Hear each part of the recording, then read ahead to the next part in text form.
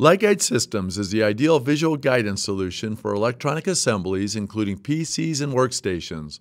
The process begins with a barcode scan, which initiates the LightGuide work instructions associated with that part number.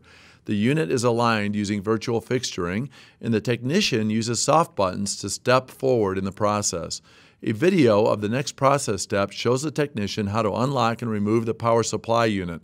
The technician again advances with a soft button to the graphics card instructions. Now the technician determines which type of card, small or large, is to be installed and with a soft button selection is guided on the card placement in the machine. LightGuide prompts again with configuration questions and the technician continues to the NIC card installation step. The NIC card location is indicated and flashing on both a picture of the machine and the machine itself. Next comes the serial card work instructions with simple pick and place guidance, then followed by the motherboard adapter work instructions. All throughout the process, a combination of text, pictures, and animations guides the technician.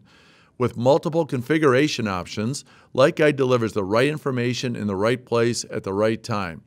With all configuration now complete, the technician is guided to close and lock the metal compartment and replace the top cover.